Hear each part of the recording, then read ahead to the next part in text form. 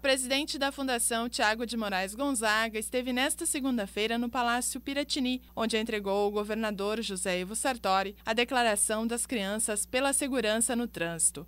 Este ano é um ano onde a ONU elegeu as crianças, né? Porque infelizmente 40% dos óbitos das crianças no nosso país é o trânsito. Então, é, é são números alarmantes, né? 500 crianças perdem a vida por dia no mundo e no Brasil, a cada minuto, três crianças perdem a vida.